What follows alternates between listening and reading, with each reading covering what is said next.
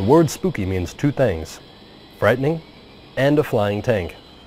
The Air Force introduced the AC-130U in 1995 and based its design off of the original Vietnam-era AC-47 Spooky gunship. Both gunships operated mostly at night to stay hidden from view.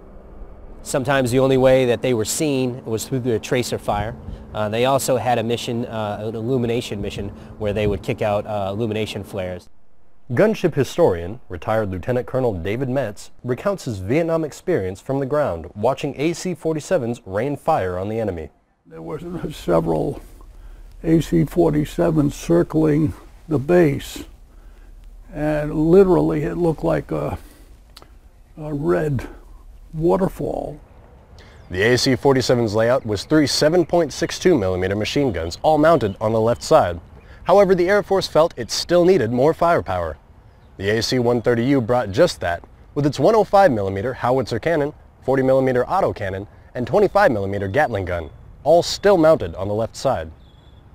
With a layout like that, the mysterious origin of Spooky's name is a little clearer. Airman First Class Stephen Ellis, Hurlburt Field, Florida.